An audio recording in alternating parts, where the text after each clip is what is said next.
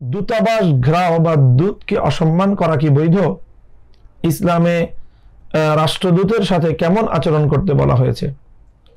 প্রিয় দর্শক, ইসলামের মধ্যে যে কোনো রাষ্ট্রের, যে কোনো জাতির পক্ষ থেকে দূত হিসেবে যারা আগমন করবেন, তাদের সঙ্গে অত্যন্ত সম্মান এবং ভদ্রচিত আচরণ করার নির্দেশ রসুল আকরম সাল আলী ওয়াসাল্লাম দিয়েছেন।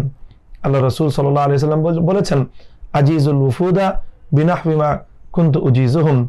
আল্লাহ নবী তার পরবর্তী ইসলামের শাসকদেরকে নির্দেশ দিয়েছেন যে তোমরা তোমাদের নিকট আগত প্রতিনিধি দল এবং দূতদের সঙ্গে ঠিক ওই ভাবে আপ্যায়ন এবং তাদেরকে তোমরা তাদের সঙ্গে ওই ধরনের সম্মানের আচরণ করবে। আমি যেভাবে তাদের সঙ্গে সম্মান এবং আপ্যায়নের আচরণ করেছি। রসুল সাল আলী ওয়াসাল্লামের পক্ষ থেকে মদিনা এভাবে বিভিন্ন জাতির পক্ষ থেকে আগত প্রতিনিধিদের জন্যে, দূতদের জন্যে আলাদা বসবাস এবং আপ্যায়নের আয়োজন ছিল। অত্যন্ত সম্মানজনক আচরণ রসুল সাল্লাহ আলী হাসান তাদের সঙ্গে করতেন। ইন্নাহুল্লাহ হিজুর রসুল। আল্লাহ রসুল সাল্লাহ আলী আসাল্লাম যে দূত হিসাবে আসে, সে যত বড় ঘৃণ্য অথবা যত বড় অপরাধী হোক না কেন, রসুল সাল্লাহ আলি সাল্লাম কখনোই তাকে সাজা দিতেন না এবং তাকে হত্যা করতেন না। এই কথাগুলো ব্যর্থহীনভাবে রসুল সাল্লাহ আলহি আসাল্লাম থেকে প্রমাণিত রয়েছে এবং উম্মদকে এভাবেই দূতদের সঙ্গে সম্মানের আচরণ করতে বলেছেন। এটি হলো ইসলামে রাষ্ট্রদূতের সাথে আচরণ বিধি এখন সুনির্দিষ্ট যেই প্রশ্নটি রয়েছে, দূতাবাস ঘেরাও করা অথবা কোনো দূতকে কোনো দাবি জানানো অথবা দূতকে, কোনো রাষ্ট্রদূতকে নিজের দেশ থেকে বিতাড়িত করা বা বহিষ্কার করার কোনো সুযোগ রয়েছে কিনা প্রিয় দর্শক এ ব্যাপারেও আমরা রসুল সাল আলী ওয়াসাল্লামের সুস্পষ্ট সহি হাদিস থেকেই আমরা নির্দেশনা খুঁজে পাই আমি আপনাদের সম্মুখে একটি হাদিসের উদ্ধৃতি দিচ্ছি عن نعيم بن مسعود الأشجعي رضي الله عنه قال سمعت رسول الله صلى الله عليه وسلم يقول لهما أي لرسولي مسيلمة الكذاب حين قرأ كتاب مسيلمة ما تقولان أنتما قال نقول كما قال قال صلى الله عليه وسلم أما والله لولا أن الرسل لا تقتل لضربت أعناقكما অর্থাৎ রসুল সাল্লাহ আলী আসাল্লামের নিকটে ভণ্ড নবী মিথ্যা নবুয়তের দাবিদার মুসাইলামতুল কাজ্জাবের পক্ষ থেকে দুজন ব্যক্তি এসেছিল রসুল সাল্লাহ আলী আসাল্লামের নিকটে আহ, সেই দুই ব্যক্তি একজন হলো ইবনুল নওয়াহা ওয়াবনু উসালিন। ইবনু উসাল এবং ইবনুল নওয়াহা নামক দুই ব্যক্তি রসুল সাল্লাহ আলী আসাল্লামের নিকটে এসেছিল। তখন আল্লাহ নবী তাদেরকে প্রশ্ন করেছিলেন আতা সাদানি আন্নি রসুল্লাহ তোমরা কি আমাকে আল্লাহ রসুল বলে স্বীকার করো, সাক্ষ্য দাও? তখন তারা বললেন নাসাদু আন্না মুসাইলামাতা রসুল্লাহ তারা বলল, যে আমরা সাক্ষ্য দেই যে মুসাইলামা আল্লাহ রসুল নওয়াজুবিল্লাহ তখন রসুল সাল্লাহ আলী আসাল্লাম বললেন আমান্তু বিল্লাহি ও রসুলিহি লকুন্তু কাতিলান রসুলান, লাকাতালতুকুমা। আমি যদি কোনো রাষ্ট্রদূতকে হত্যা করতাম, তাহলে অবশ্যই আমি তোমাদেরকে হত্যা করে দিতাম। ফামাদাতি সুন্নত আল্লাহ রসুল্লাহ তুক্তালু। এ থেকে প্রমাণিত হয় যে কোনো রাষ্ট্রদূতকে অথবা কোনো জাতির পক্ষ থেকে বৈধভাবে আগত কোনো দূতকে হত্যা করা যাবে না। কারণ যারা দূত হিসেবে আগমন করে, তারা মুসলিমদের নিকট, মুসলিম জাতির নিকট, ইসলাম এবং মুসলিম রাষ্ট্রের নিকট তারা আমান এবং নিরাপত্তা গ্রহণ করেই এসে থাকে। সুতরাং তাদের আমান এবং নিরাপত্তা রক্ষা করা এটি জরুরি। এটি হলো আমান এবং নিরাপত্তার প্রশ্ন। কিন্তু যদি তারা কোনো অন্যায় করে, তাহলে তাদের সঙ্গে কঠোর আচরণ করা, কঠোর মন্তব্য করা, এতে কোনো বাধা বিধিনিষেধ নেই। যেমন রসুল সাল্লাহ আলহি ওয়াসাল্লাম মুসাইলামতুল কাজ্জাবের পক্ষ থেকে আগত যে দুই দূত, তারা যখন আল্লাহ রসুল সাল্লাহ আলহি ওয়াসাল্লামের সম্মুখে মুসাইলামতুল কাজ্জাবকে রসুল বলে দাবি করল, তখন আল্লাহ নবীজি অত্যন্ত কঠোর ভাষ্য ভাষা তাদের সঙ্গে প্রয়োগ করলেন। বলতেন, বললেন লাউকুন্তু কাতিলান রসুলান লাকাতাল তুকুমা যে যদি আমার নিকট দূতকে হত্যা করার কোনো সুযোগ থাকতো তাহলে লাজারাব আনা বর্ণনা আমি তোমাদের গর্দান উড়িয়ে দিতাম। অর্থাৎ এটি অত্যন্ত তাদের প্রতি কঠোর মনোভাব আল্লাহ রসুল সাল আলী আসাল্লাম প্রদর্শন করেছেন।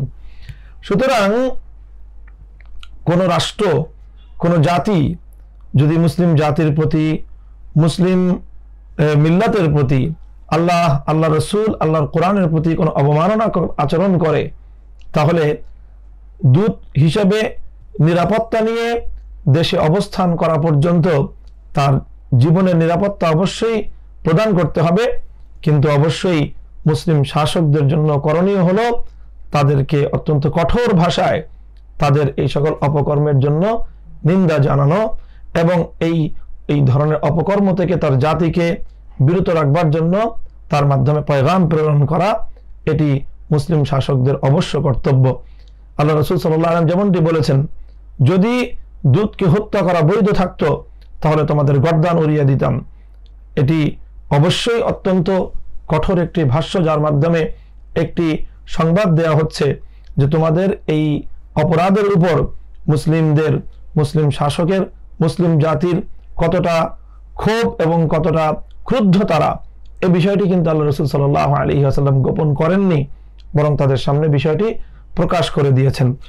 সুতরাং যখন ইসলামের কোনো মৌলিক বিষয়ে যদি কোনো জাতির কোনো আপত্তি অথবা আপত্তিকর অথবা কোনো তাদের অশোভনীয় কোনো কার্যক্রম, অশোভনীয় কোনো আচরণ তারা করে, তাহলে সেক্ষেত্রে মুসলমানদের পক্ষ থেকে তাদেরকে কড়া বার্তা পৌঁছে দেয়া, এটি অবশ্যই রসুল সাল্লাহ আলী আসাল্লামের সুন্না